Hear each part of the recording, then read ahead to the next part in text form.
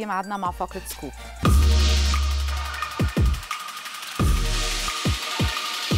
هنتكلم النهارده عن واحد من الأمراض النفسية المرتبطة بالسوشيال ميديا وللأسف الشديد بدأ ينتشر بقوة بين مستخدمي مواقع التواصل الاجتماعي أو السوشيال ميديا عامة.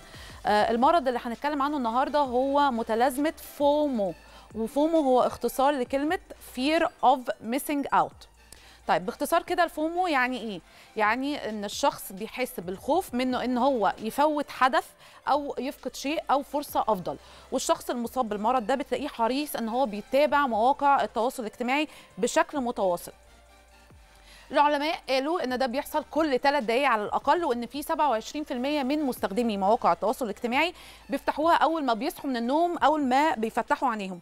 وإنه كمان في 56% منهم بيحسوا إن في حاجات كتير ناقصاهم لو ابتعدوا عن السوشيال ميديا لمدة أطول من ربع ساعة بس. طيب قبل ما نكمل كلامنا عن ال FOMO تعالوا نروح نشوف التقرير ده ونرجع تاني على طول.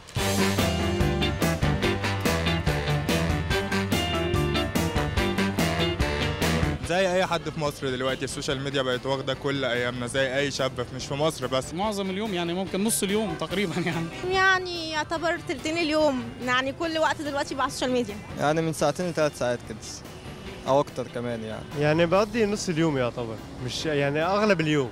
يعني بسلي وقتي. يعني الوقت الواحد بيبقى فاضي فبيستخدم أي حاجة يسلي بيها وقت. ممكن حبة صغيرين بس آخر الليل قبل ما أنام كده شوية وبتاع لكن بقى بقية اليوم كله أنا في الشغل ما بقدرش أقعد عليه كتير يعني. أغلب الأوقات يعني وقت وقتي تقريبا كله في مواصلاتي في البيت وقت ما أنا فاضي. وقت الشغل كمان. في اغلب الاوقات على طول لازم امسك الموبايل.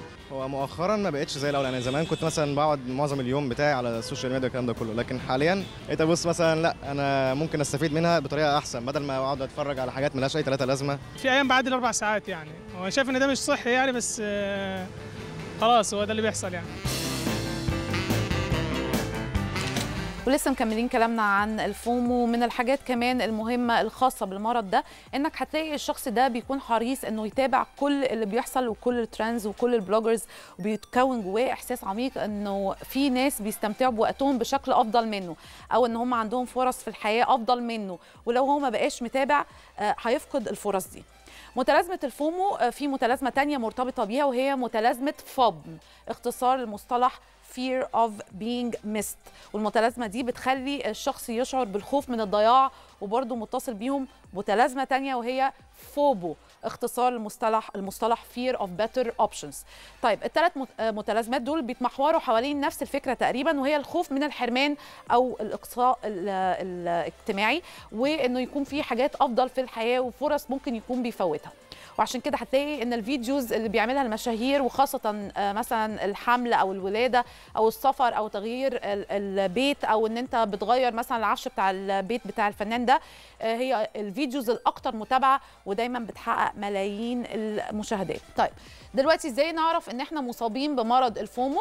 المرض ده زيه زي أي مرض تاني ليه أعراض ومن الأعراض دي الرغبة في التواجد في كل مكان وإن الشخص بيبقى عايز يشارك في كل حاجة حتى لو بشكل وهمي. وبيجيله مشاعر بالندم الشديد لو فاته أي شيء.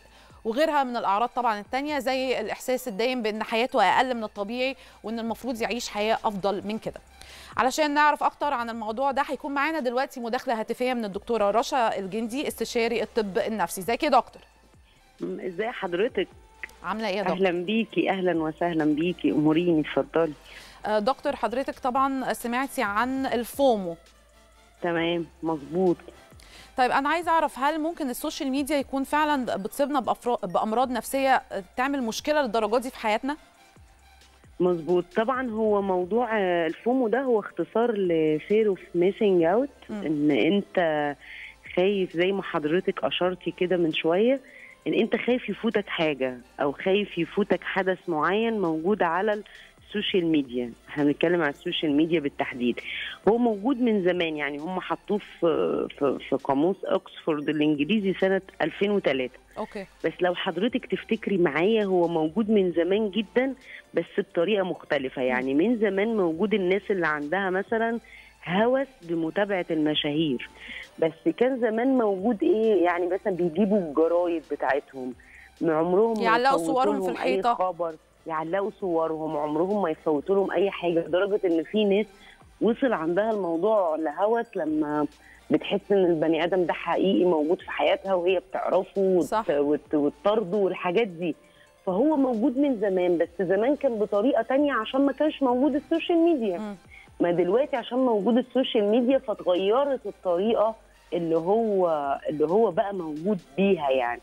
ليه طبعا أعراض؟ زي ما حضرتك قلتي إزاي هعرف إن البني آدم ده عنده الفومو أو عنده عليه خطر لأن هو حضرتك الخطر منه إن هو زيه زي الإدمان.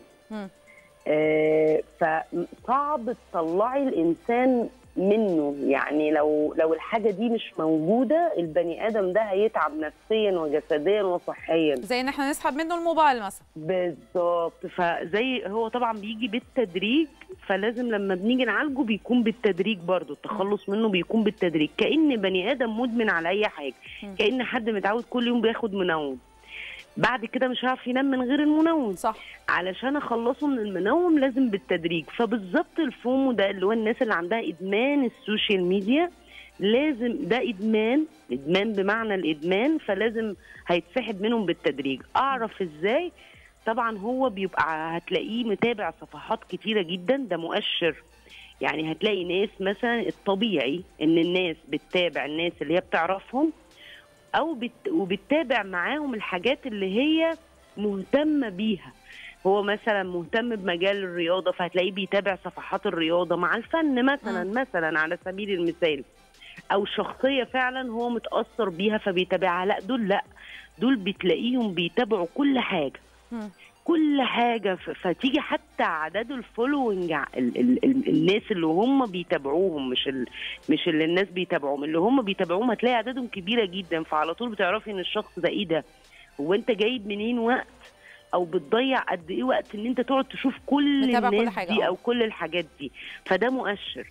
المؤشر التاني الإشعارات عندهم هتلاقيها بصوت عالي. إزاي؟ يعني ليه رنة. بعكس الناس الطبيعية هتلاقي مثلا عاملة الإشعارات على ال social media silent. أو حاجة كده اللي هو يعني لأن هي مخصصة وقت معين في اليوم إنه لما هيكون عنده وقت هو. هيدخل بنفسه يتفرج ويشوف اللي هو عايز يشوفه بالظبط لا ده عامل بقى الإشعارات بصوت كأن رسالة بتجيلك أو رنة بتجيلك أيوة. فتخيلي حضرتك بيجيله كام إشعار في اليوم فبي... فهو رابط عامل اشتراك يعني ارتباط شرطي ما بين التشبع اللي هو بيشعر بيه وما بين صوت الإشعار اللي بيجيله هتلاقيه كمان عايز يرجع البيت بسرعة لو هو في مشوار لو هو في شغل لو هو في حاجة أو هتلاقيه قاعد جوه الشغل جوه ميتنج جوه أي حاجة بيختلس أي فرصة عشان يدخل يبص. وحتى لما بيروح مكان حضرتك عشان يستمتع زيارة يتفسح يعمل هو مهتم إن هو يصور يوثق أكتر ما مهتم من إن هو إيه يستمتع من إن هو يستمتع مم. وفي حاجة مهمة قوي هتدخلي كمان هتعرفيهم حضرتك هو دلوقتي مثلا على سبيل المثال في الفيسبوك لو ح... لو أنا مثلا سي متابعة حضرتك. وحضرتك علقتي لحد مع داخل المهم يعلق المهم يثبت حضور فدي طبعا شوية أعراض كده ممكن إن إحنا نقدر نعرف نعرف منهم يعني إن إحنا من الناس دي لأن لو الحاجات دي اختفت ما بقتش موجودة في حياتهم أو حصل مثلا النت وقف شوية أو موبايله مفصول شحن أو الحاجات دي هم بتجيلهم طبعا ضيقة وخوف وقلق ومش مبسوط ولو مهما كان هو محطوط فيه وبسرعة عايز يجري يشحن وبسرعة عايز يشغل الموبايل وبسرعة عايز يشغل يعيد الباقة. فالوضع بتاعه مش لطيف خالص. الناس دي حضرتك لما إحنا لما جينا نشوف يعني حتى آخر بحث ليا شغاله عليه دلوقتي مربوط بالموضوع ده إن علاقة ال social media بال- بالضغوط النفسية الموجودة جوه الطلبة بتاع الجامعة. فلما جينا نشوف هم ليه بيتحولوا ل FOMO بقى؟ يعني إيه اللي بيوصلهم لمرحلة الإدمان دي؟ فلقينا إن هم ال- النوعية دي من الطلبة أو من الناس هم في حياتهم الطبيعية عندهم حر- حرمان اجتماعي في حياتهم الواقعية في بيتهم مع أصحابهم مع الناس عندهم حرمان اجتماعي بمعنى إيه ممكن ملوش صحاب. أو ممكن ليه أهل أو ليه صحاب بس مش بيدوله فرصة إن هو يتكلم مش بيدوله فرصة إن هو يعبر مش بيسمعوه يجي يتكلم مع حد يقول له ما تنكدش عليا أنا ما بحبش العتاب. ما بحبش كذا الناس بتنفر ملوش فعايزين يعيشوا في. الحياة الوهمية اللي هي على ال social media عشان ما يشاركش في الحياة الحقيقية. مظبوط؟ برافو على حضرتك. هو لقى الناقص عنده فين؟ لقى الناقص عنده هناك لأن هو في حياته الحقيقية. إما حاسس بالوحدة إما حاسس بحرمان اجتماعي إما حاسس بنقص عاطفي. مش لاقي ذاته. والحاجات دي من متطلبات الحياة الأساسية طبعا. النفسية لأي بني آدم. فبيروح يلاقيها فين؟ بيروح بقى يلاقيها على ال social media. دول بقى لو دورتي عليهم هتلاقيهم صعب جدا يكونوا بيلعبوا رياضة مثلا. بشكر حضرتك جدا يا دكتور رشا الجندي استشاري الطب النفسي وبكده تكون خلصت فقرة scope.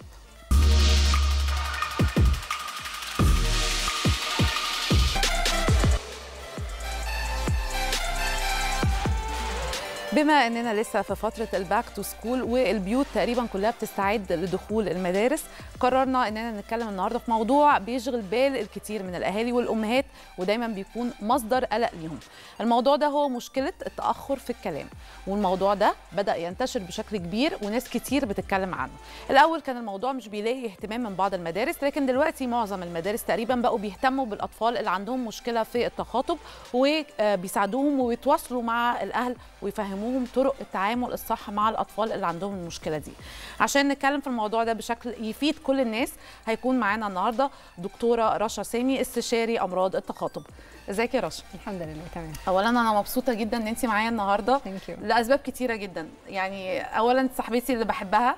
آه ثانيا آه انت عاملة شغل جامد جدا جدا جدا على ال social media وال videos بتاعتك يعني فيها كم مشاهدة عالية لأنها فعلا بتفيد بطريقة برضو كبيرة قوي ميرسي قوي طيب إحنا النهارده موضوعنا ال- التأخر في الكلام أو مشكلة التخاطب.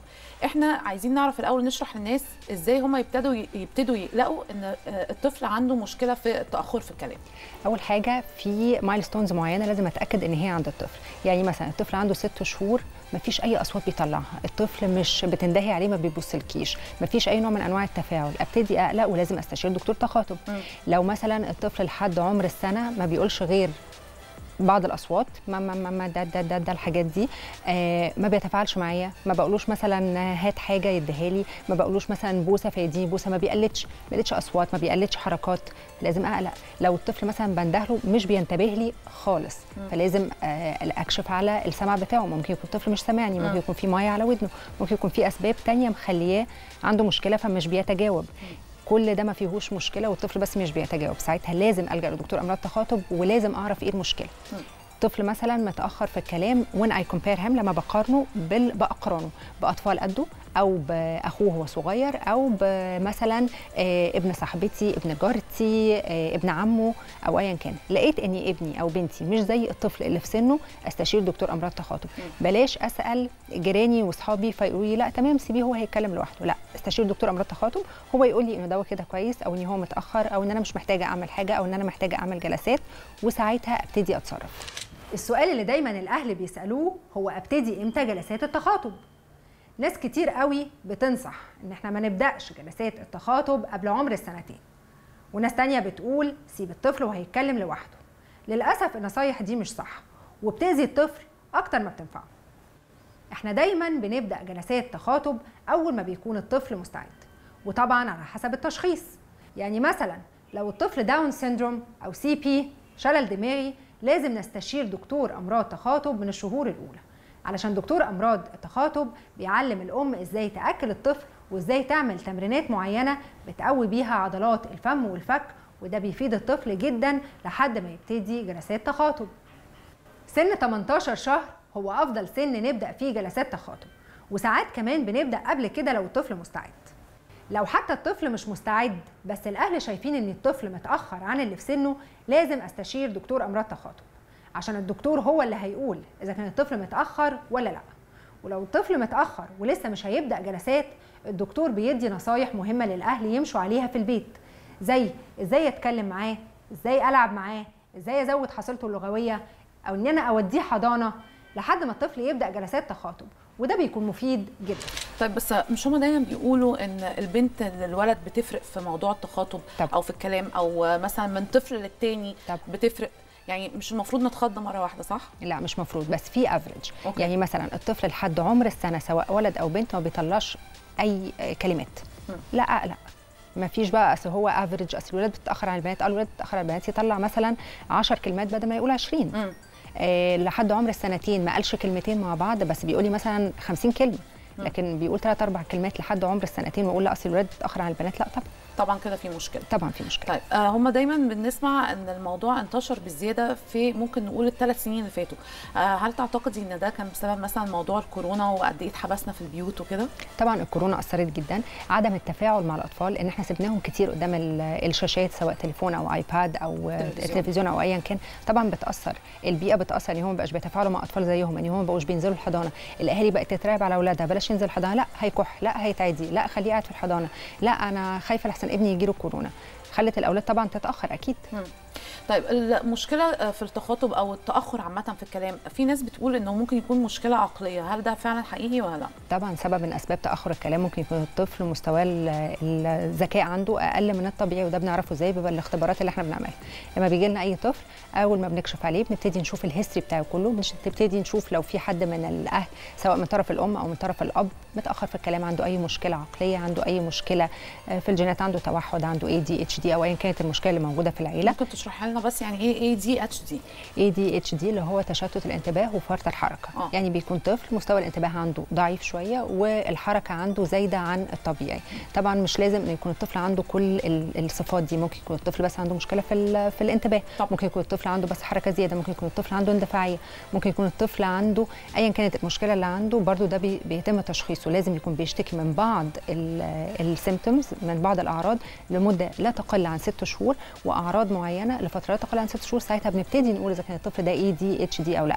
يعني مش كل طفل قاعد سرحان في class يبقى دوت ADHD. مش كل طفل قاعد شقي شوية أو عمل حركتين يبقى دوت ADHD فطبعا اللي بيشخص ال ADHD دكتور نفسي أطفال. مفيش حاجة اسمها إن المدرس يقول على فكرة ده ADHD أو ده توحد. لأ هو بينقل ال concerns بتاعته بينقل ال- المخاوف بتاعته للأهل. يقول لهم مثلا أنا قلقان إنه الولد معايا دلوقتي بقى لنا شهرين مثلا في المدرسة واستجابته مش زي آه، صحابه اللي معاه في الفصل. أو إن هو مثلا مش بيخلص شغله كله أو إن هو بيسرح مني. ده بينقل مخاوفه. مين بعد كده بيشخص؟ الأهل بيبتدوا يعملوا assessment ويبتدوا إن هم يشوفوا إيه مشكلة الطفل فعلا. طيب إحنا هنروح نشوف الفيديو ده ونرجع تاني نكمل كلامنا. okay. النهارده هنتكلم عن إزاي أمنع التأخر اللغوي عند الأطفال. ممكن أعمل إيه علشان ابني أو بنتي ما يتأخروش في الكلام؟ النهارده هقول لكم نصايح كتيرة قوي ممكن تنفذوها مع أولادكم في البيت علشان ما يتأخروش في الكلام وإن شاء الله ما تحتاجوش دكتور أمراض تخاطب. أول حاجة لازم أكون أم رغاية. رغاية يعني بتكلم كتير مع البيبي من أول ما بيتولد. بتكلم وأنا بأكله بتكلم وأنا بحميه بتكلم وأنا بلبسه برغي طول الوقت. بسمي كل حاجة بعملها له وكل حاجة ماسكاها في إيدي وكل حاجة بديها له. بخلي الطفل يقلد سواء يقلد حركات أو أصوات. بخليه يسقف يعمل bye بوسة high five لازم أتفاعل مع الأصوات اللي الطفل بيطلعها وهو بيناغي. يعني لما يبتدي يعمل با ما بو. ببتدي أنا كمان أقلد الأصوات اللي الطفل دي بيطلعها أو ممكن كمان أشجعه إنه يطلع أصوات أكتر. ممكن أقول له برافو. ممكن أعمل حاجات كتيرة قوي أشجع بيها الطفل وبالتالي يفضل يطلع أصوات أكتر. طيب آه، دكتور إحنا عايزين نعرف بقى لو في طفل مثلا عنده خمس سنين يعني المفروض يكون بيتكلم هل إحنا المفروض نقلق على الطفل ده لو هو عنده بعض الحروف في بعض الكلمات ما بتطلعش مظبوطة؟ قصدك لدغات مش لدغه إنه مثلا بيطلع لسانه في حرف أو حاجة كده أنا بتكلم الحروف تتشقلب يعني مثلا كلمة سمكة مثلا ممكن يقولها مثلا آه كمسة. في حاجة اسمها انتليجيبيليتي أو درجة مفهومية الكلام. درجة مفهومية الكلام دي جزء من تطور اللغة. في طفل بيوصل يعني لما طفل بيكون عنده أربع سنين المفروض يكون درجة مفهومية الكلام لكل حد 100% يعني إيه 100% يعني 100% من الأشخاص اللي حواليه أو اللي ما يعرفوش يفهموا كلامه 100% لو الطفل عنده مشكلة طبعا لازم يروح دكتور أمراض تخاطب لأن ممكن يكون الموضوع أكبر من كده. ممكن يكون هو عنده شوية لغة حافظهم وبيتفاعل بيهم بس البراجماتكس اللي هي براجماتيكا الكلام عنده مش قادر يكمل بيها. يعني مثلا مش بيعرف يكمل حوار لآخره بس أهله واخدين بالهم بس من كلمة سمك. فهو برضه لازم يروح لدكتور أمراض تخاطب. طيب الطفل عامة ممكن يبتدي يروح لدكتور عشان يساعده في موضوع الكلام أو التخاطب عامة آه، من بداية من سن كام؟ على حسب إيه المشكلة. يعني مثلا لو طفل اتولد Down syndrome ده من أول ما بيتولد بنبقى عارفين إنه عنده مشكلة. أنا هتشرح لنا يعني إيه Down syndrome؟ Down syndrome اللي هو الطفل ال Down. okay. آه الطفل ال Down دوت بيكون آه كان زمان بيقولوا عليه الطفل منغولي آه. دلوقتي هو Down syndrome. آه. آه الطفل ال Down آه بيتولد ب features معينة وبمشاكل معينة بيكون عنده نوع من أنواع التأخر العقلي. فأول ما بيتولد على طول لازم يروح لدكتور أمراض تخاطب عشان إحنا بنعمل feeding okay. يعني لازم بنعرف الأم إزاي ترضعه سواء رضاعة طبيعية أو رضاعة صناعية علشان ما يشرقش علشان ما يحصلوش infections في ودانه علشان حاجات كتير قوي بنعلمه إزاي آه، تأكله أو ترضعه بطريقة مظبوطة إزاي. تأكله بطريقة مظبوطة. ده شغل تخاطب طبعا لو طفل عنده مثلا CP اللي هو شلل دماغي. برضو من أول ما بيتولد بيبقى معروف المشكلة ولازم بنرجع لدكتور أمراض تخاطب علشان يبتدي يدينا instructions دايما الأولاد اللي هم عندهم Down syndrome أو عندهم CP دايما متأخرين في الكلام فلازم بندي instructions للأهل نعمل إيه. نبتدي إمتى نرغي معاه إزاي نتكلم معاه إزاي طفل مثلا عنده سنة ونص وما بيقولش غير كلمة واحدة ومش بيتفاعل قوي مش بينفذ أوامر آه مطنشني لا ابتدي على طول جلسات تخاطب. بلاش ال- المدرسة القديمة بتاعت ما نبتديش تخاطب قبل عمر سنتين أو ثلاث سنين. لا ما فيش كده دلوقتي. في إحنا بندي الطفل جلسات تخاطب وانس إن هو مستعد. في بقى الأهم من جلسات التخاطب إن إحنا لازم نكون بنتكلم مع الطفل لازم نكون بنتفاعل مع الطفل لازم نقلل الشاشات. لازم أهم من ده كله إن إحنا نوديه حضانة. لازم يكون في تفاعل بينه وبين أطفال في سنه عشان يبتدي يقلل. في حاجات pre لتطور اللغة يعني في متطلبات عشان اللغة تكتمل عند الطفل أو عشان يبتدي يبني لغة. لازم يكون عنده تقليد حركي وتقليد لفظي. لازم الطفل يكون بيكون بيتفاعل معايا. يعني لازم ان أنا أقعد أغني له. فاكرة زمان كانوا الأهل بيقروا قصة كل يوم لاولادهم صح. دلوقتي الأهل بطلوا يعملوا الحركة دي. لأنهم آه، بيتفرجوا عليها على ال iPad أساسا. بس فكرة القصة اللي أنا بقراها إن أنا بعمل أول حاجة bond بيني وبين ابني. أو بنتي. آه، الحاجة الثانية إن أنا بقلد أصوات بقلد حركات بوري له صورة فهو بيربط الصورة بالكلمة. آه، ده من سن كام؟ ده من وهو صغير خالص من وهو بيبي ما نقرأ له من وهو بيبي ما نحكي له من وهو بيبي ما نغني له. أقعد أغني له وأعمل له حركات بإيدي وأخليه يقلد. فهتلاقي الولد بعد شوية بيعمل نا- نا- نا- الحاجات اللي أنت بتغنيها له حتى لو بيجيب التون. ما هو ده نوع من التقليد طبعا. إن هو يعرف يجيب لحن الكلام. صح. ده جزء من تطور اللغة. لما بيجي أهل بيشتكوا إن ابنهم مثلا ما بيقولش كلام واضح بيقول اللي هو الجارجون دوت جزء من تطور اللغة. آه، في أهل بيجوا مثلا وهم والولد صغير بيقولوا ابني بيقلد الكلام ورايا. ساعات بيكون مش لازم يكون هو عنده توحد ساعات بيكون عشان الطفل متأخر في الكلام فما عندوش حصيلة لغوية كافية تخليه يتكلم. يعني انت بس تقول له ازيك عاملة إيه؟ يقول لك ازيك عاملة إيه؟ ما عندوش اللي يرد بيه عليكي بس هو عايز يرد عليكي. ففي طرق لازم يكون الأهل بي- بيلجأوا لدكتور أمراض تخاطب هو بيشوف إيه المشكلة. بنبتدي إمتى؟ بنبتدي والطفل مستعد سواء سنة ونص سنة وثمان شهور سنتين على حسب استعداد الطفل. طيب آه، في فيديو تاني هنروح نتفرج عليه لأنه فعلا مفيد ومهم جدا للمشاهدين اللي عندهم مشكلة في الموضوع ده, ده نروح نشوف الفيديو ونرجع. okay. النهارده بقى هنتكلم عن إمتى أقول إن ابني متأخر في الكلام أو إمتى أقلق وأوديه لدكتور أمراض تخاطب. في علامات معينة في كلام الطفل والتواصل معاه لو ما حصلتش لحد وقت معين لازم أقلق ولازم أستشير دكتور أمراض تخاطب. إيه هي العلامات دي؟ لو الطفل لحد ما تم ست شهور ما بيبصش على مصدر الصوت ما بيبصش لحد ولا بيبتسم لحد ولا حتى مامته. لو الطفل عند عمر السنة ما بيعرفش ينفذ أمر بسيط زي هات الكورة أو لو الطفل ما بيستجيبش لاسمه لما بننده عليه أو لو الطفل ما بيلغيش ما بيشاورش ما بيقلدش حركة زي باي. لو الطفل لحد عمر 15 شهر ما قالش ولا كلمة المقصود بكلمة مش إن الطفل بيلاغي أو بيقلد أصوات لأ كلمة يقصد بيها حاجة زي مام أو بو أو بابا. لو الطفل عمره سنة ونص وما بيفهمش كلمة زي لأ أو ما بيشاورش على حاجة زي لو قلت له مثلا فين عينك؟ لو الطفل ما بيستجيبش لسؤال زي إيه ده؟ أو لو الطفل بيقول كلمة أو كلمتين بالكتير وما بيكتسبش كلمات جديدة لازم أقلق وأستشير دكتور أمراض تخاطب. آه، دكتور رشا آه، في أمهات كتيرة جدا آه، بيحسوا بالإحراج.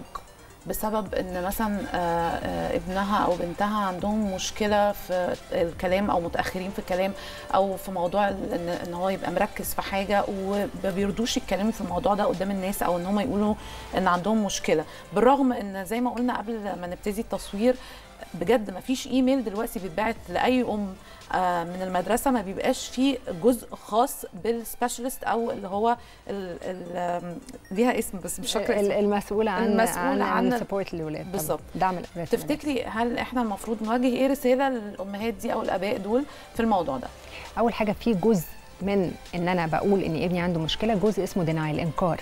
زي أي أم في الدنيا أو اي أب أول حاجة بينكر إن ابنه عنده مشكلة أنا شايفه زي الفل أنا مش شايف اللي أنتوا بتقولوه ودوت جزء لازم المدرسة تكون عارفاه ومستوعباه والأهل يبقوا عارفينه إنه جزء من إن أنا أتقبل حالة ابني إن أنا بالأول بنكر إن هو عنده مشكلة مم. مش كل أهل عندهم ال- القدرة الكافية أو الشجاعة الكافية إن هو يتقبل مشكلة ابنه أنت دايما بتتمني إن ابنك أو بنتك يكونوا ما عندهمش. مشكلة مم. فأول ما بتعرفي الأول في مشكلة بتحاولي إن أنت تلجئي لدكتور واثنين وثلاثة علشان يقول لك لا المشكلة دي مش موجودة. وبعد ما بتقتنعي تماما إن في مشكلة دي دي مرحلة الإنكار. بعد ما بتقتنعي إن في مشكلة بتبتدي تتقبلي ابنك. وانت انت تقبلتيه بتبتدي تشوفي له حل. أقنع يعني لو أنصح الأهل دول أنصحهم مني هو في خلال فترة الإنكار اللي عندك حاول إن أنت تعمل اللي المدرسة أو الثيرابيست أو الدكتور قال لك عليه. بمعنى إن أنا مثلا لو ابني متأخر آه وأنت مش مقتنع إن هو متأخر مفيش مشكلة خالص. بس في الوقت دوت اعمل ال instructions اللي قالوها لك اعمل النصايح اللي قالوها لك. اعمل مثلا إن أنت تقلل الشاشات إن أنت تتكلم معاه كتير إن أنت ترغي معاه كتير إن أنت تعمل corrective feedback أو extended feedback بمعنى إن هو مثلا لو الطفل مثلا بيقول عربية أقول له عربية حمراء عربية كبيرة هات عربية فين عربية. ابتدي أزود له الحصيله. اللغوية عنده. آه. لو الطفل مثلا بيقول الكلمة غلط زي ما كنا بنقول مثلا من شوية مثلا الطفل مثلا بيقول سمكة بيقولها غلط فما أقولوش إيه ده غلط؟ قول سمكة. لا ما بعملش كده. بقول له سمكة. أنت عايز سمكة؟ فين سمكة؟ أو ايا كانت الطريقة اللي بكلمه بيها فهو يسمع كلمة سمكة صح مرة واثنين وثلاثة فبالتالي هيبتدي يقولها صح.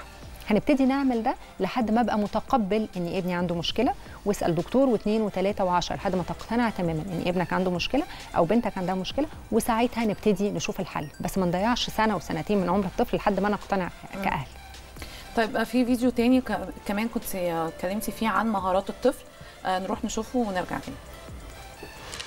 النهارده هنتكلم عن المهارات اللي لازم تكون موجودة عند الطفل قبل ما يتكلم. في مهارات معينة لو مش موجودة عند الطفل أو ما اتمرنش عليها هيفضل متأخر في اكتساب اللغة وتطورها. إيه بقى المهارات دي؟ أول مهارة إنه لازم يكون الطفل متفاعل مع البيئة بتاعته. يعني إيه متفاعل مع البيئة بتاعته؟ يعني بيبص على مصدر الصوت اللي حواليه. بيعيط لو حاجة وقعت وعملت صوت عالي. بيضحك كنوع من أنواع التفاعل. مهارة تانية لازم تكون موجودة عند الطفل إنه يكون بيتفاعل مع الناس. يعني لو مامته بتندهله يبص لها، لو حد بيزعق ينتبه للصوت. بيتفاعل لو حد بيلعبه حتى لو بالرفض أو بالعياط، لأنه ده نوع من أنواع التفاعل. مهارة كمان إنه الطفل يكون بيركز في حاجة لمدة من 3 ل 6 ثواني. لأنه لو مدة التركيز أقل من كده بيكون صعب الطفل يكتسب أي مهارة. فلازم نزود التركيز عند الطفل ببعض التمرينات. دكتور رشا الطفل ممكن يكون بيحتاج كام جلسة تقريبا علشان نقدر نحس إن في امبروفمنت أو تطور في موضوع التأخر أو أي مشكلة عنده آه، ايا كانت زي مثلا إن هو مش بيعرف يركز أكتر وكده. وكمان عايز أعرف إزاي الأم تقدر تعرف إن الجلسة دي فادته ولا لأ؟ طيب أول حاجة جلسات التخاطب بتعتمد الأول على التشخيص ولازم دكتور التخاطب بيقول للأهل إحنا فين؟ الابن إيه مشكلته؟ أو الطفل إيه مشكلته؟ آه هنوصل لإيه؟ هو محتاج إيه؟ هل هو محتاج جلسات تخاطب بس؟ محتاج جلسات تانية مع التخاطب؟ إيه مشكلته؟ هل هو بس متأخر لغويا؟ في تأخر عقلي؟ هل هو ADHD هل هو توحد؟ هل هو عنده مشكلة تانية؟ فلازم الأول الدكتور بعد ما بيشخص الحالة وبيعمل بعض الاختبارات وال assessments عشان يشوف الطفل عنده إيه لازم بيقول للأهل الطفل عنده إيه. طب الاختبارات دي أنا آسفة هقطعك الاختبارات دي بتاخد تقريبا كام جلسة ولا هي من أول مرة الطفل بيروح؟ الدكتور بيقدر على حسب؟ مرة أو مرتين أو ثلاثة على حسب الطفل برضو واستجابته لأن إحنا بنحب إن الاختبارات تكون سليمة 100% يعني ما ينفعش إن أنا مثلا طفل قاعد معايا لازم يبقى في نوع من أنواع ال- ال- اللذاذة بيني وبينه طبعاً. يعني علشان يبتدي يرد عليا. ما ردش في الأول. طب أنا مش لازم أعمل له الاختبار كل مرة واحدة. طب أبتدي بحتة وبعد كده أكون كده يعني like I broke the ice بيني وبينه. وبعد شوية مرة ثانية بشوفه فيبتدي يبقى عارفني يبتدي يتفاعل معايا أكتر. طبعا الجلسات وال assessments كلها play based كلها معتمدة على اللعب. مفيش خلاص دلوقتي حد بيقعد على ترابيزة ولا مكتب ويدي الجلسات مفيش الكلام ده على الشزلونج. لا مفيش محدش بينام على الشزلونج. بقى بقى دلوقتي خلاص إحنا بنلعب مع الأطفال. يعني أسهل طريقة عشان أوصل لطفل معلومة عن طريق اللعب. طبعا. فالفكرة كلها إنه بعد ما بشوف الطفل واشخصه بيبقى الأهل عارفين إيه مشكلة الطفل. الطفل محتاج وقت قد إيه عشان يتحسن محتاج جلسات تخاطب ولا محتاج جلسات تخاطب وجلسات حاجات تانية مصاحبة للتخاطب. هيعملوا إيه هم في البيت؟ هي بتبقى حاجات كتيرة مع بعضها بنقولها كلها للأهل وبنشوف الوقت قد إيه. في أطفال مثلا عندهم تأخر لغوي مثلا لمدة ست شهور أو سنة آه، التأخر اللغوي العمر اللغوي بتاعه متأخر عن اقرانه سنه فدوت مش بيحتاج وقت طويل ولكن لازم الأهل يودوه حضانة لازم الأهل يتكلموا معاه لازم يبقى في نوع من أنواع التفاعل لازم يلعب رياضة نتكلم معاه كتير نرغي معاه كتير نلتزم بجلسات التخاطب لأنه في أهل كتير بيبقوا معتمدين إن إحنا أدام رحت مرة في الأسبوع أنا كده كويس. لأ انت لو الدكتور قايل لك مرتين في الأسبوع تروح فهم المرتين. لأن هي جلسة بتكون من نص ساعة لساعة الا ربع. فهو يعني الوقت دوت لو حسبتيه هيبقى ولا حاجة في طبعاً. الأسبوع بتاع الطفل. ولا حاجة ولكن هو. instructions إزاي الولد يتفاعل إزاي بيدوا instructions للأهل كل مرة. الدكتور بيقابل الأهل أو ال therapist بيقابلوا الأهل وبيقول لهم إزاي يتعاملوا مع الطفل. وده هو الجزء الأهم. يعني البيت عليه دور كبير جدا في تحسن الطفل طبعا. فكل ده بيتقال للأهل بيبقوا عارفين هو محتاج وقت قد إيه لأنه it differs من حالة لحالة. بس ساعات دي يعني حاجة common جدا وبتحصل كتير جدا إن الأم بتروح للدكتور آه، التخاطب وبتحس إن ما حصلش progress أو تقدم في حالة ابنها. طبعا. طيب هل ال- ال- الشخص ده المفروض إن هو يغير الدكتور؟ ولا المفروض إن هو بيصبر عليه ولا يعرف إزاي إن أصلا بيحصل progress وإن يمكن ده وقت معين الطفل بيمر بيه وبعدين هيتحول ل هيروح ل stage تانية أحسن. ده اللي إحنا بنقوله إن هو في الأول لازم أكون واقعي مع الأهل. مم. يعني لازم لو ولد جاي لي توحد لازم ما أقولش للأهل هو هيتكلم بعد بكرة. مم، طبعا. مفيش كده أنا لازم أقول له إيه المشاكل اللي عندي إيه ال points of weakness إيه نقاط الضعف عنده إيه نقاط القوة هستخدم إزاي نقاط القوة دي عشان الولد يتحسن ال expectations إيه إيه التوقعات من الطفل ده أنا مستني إن أنا أوصل لإيه. خلاص فبالتالي الأهل هيبقوا عارفين بدي الدكتور قد إيه أو ال therapist قد إيه بديله على الأقل ست شهور. بس كل مرة الدكتور بيقابلني كل مرة بيبقى فيه زي link book أو حاجة وسيلة تواصل بيني وبين الدكتور ببقى عارفة ابني خد إيه آه، في أماكن فيها ال- الجلسات آه، ممكن يبقى الأهل شايفين أصلا ابنهم وهو شغال جوه. شايفينه بيتفاعل أو لأ يعني مش يبقى الباب مقفول. وأطلع أقول له على فكرة ابنك بيقول جوه حكى لي حكاية. مفيش كده. طبعا. هو خلاص بقى في كاميرات دلوقتي في كل مكان الأهل بيشوفوا بس الجلسات. الأم والأب ما بيبقوش قاعدين جوه الجلسة مع الدكتور؟ آه ساعات في الأول بيكونوا قاعدين بس شوية وبعد كده بيكون أفضل إن الطفل يكون لوحده علشان آه يبتدي يتفاعل وما يبقاش مشتت بالأهل. أوكي. في أهل كم في أطفال كمان بيبقى التفاعل قدام الأهل أوحش مش هو مش عايز يسمع الكلام. أو مختلف. هو آه مش عايز يسمع الكلام. هو متدلع هو مش آه آه خلاص هو قاعد عمال يحضن مامته ويعيط. فهي بتختلف من من حد لحد. ولكن التأخر اللغوي لو ما فيش أي مشاكل غير مثلا أسباب بيئية أو إن هو بس الطفل متأخر في الكلام من غير أي مشاكل عقلية أو أي مشاكل مصاحبة فدوت الطفل بيتطور وبيتكلم عادي جدا. أنا كنت متأخرة في الكلام لحد ثلاث سنين ونص كنت بقول كلمة واحدة وكان ساعتها ما فيش تخاطب ما فيش يعني جلسات تخاطب. كانت مامتي بترغي معايا كتير جدا كنت بروح الحضانة كان إخواتي بيلعبوا معايا كتير جدا. فبالتالي تطورت اللغة عندي كانت بتعمل corrective feedback وهي مش عارفة إنه في حاجة اسمها corrective feedback طبعا. كنت بقول الكلمة ما تقوليش قولها صح لا هي كانت بتعيدها صح قدامي فأنا بسمعها مرة واثنين وثلاثة وعشرة صح؟ فبالتالي ابتدت اللغة تتطور عندي و... واللغة ما بقاش فيها مشكلة. لا خالص. ما فيهاش مشكلة خالص. خلاص بقت دكتورة عملت تخاطب انت ممكن تيجي تذاعي عادي على فكرة. حبيبتي يا ريما طيب آخر حاجة عايزة أسألها لك لأن أكيد كل ام بيبقى بجد إيدها على قلبها وعايزة تسمع الرد ده. حقيقي ممكن إن الموضوع ده غيرك يتغير تماما جدا ويتصلح وما يبقاش عنده مشكلة خالص لو هم فعلا مشيوا على الجلسات دي. طبعا هو كده كده الطفل هيتحسن. خلينا بس مقتنع بحاجة. ايا كانت المشكلة كده كده الطفل هيتحسن. it differs من تحسن قد كده لتحسن قد كده. على حسب دوت برضو. لازم الدكتور يكون واقعي مع الأهل. من day 1 بنقول للأهل إيه ال expectations إيه توقعاتنا للطفل ده هنوصل لإيه. طول حتى لو راح يا دكتور وهو كبير يعني بنتكلم مثلا سن 6 و7 و8 ولا ده خلاص too late على حسب برضو إيه مشكلته. يعني مثلا ستة بيجي لنا ناس عندهم 20 و30 سنة عندهم لدغات بيجي لنا ناس عندهم 40 سنة وعندهم تلعثم. بيجي لنا ناس عن... عندهم عمر عمرهم كبير جدا وعندهم مشاكل. وبتتحسن. وبتتحسن طبعا. okay. طبعا. رشا أنا بشكرك جدا على وجودك النهارده معانا وبجد فدتينا جدا في وقت إحنا كنا محتاجين كلنا كأمهات نعرف آه، إيه هي المشكلة وإزاي فعلا نقدر نحلها. thank you يا رشا على وجودك قوي ميرسي وبكده خلصت حلقتنا النهارده. استنونا الأسبوع اللي جاي في نفس الميعاد. أشوفكم على خير بإذن الله. باي باي